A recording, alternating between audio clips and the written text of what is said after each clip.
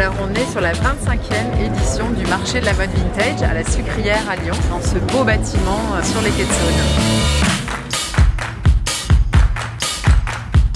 sur la thématique 90s, les années 90 reviennent, le côté grunge, le côté minimal, tout ça qui se mixe.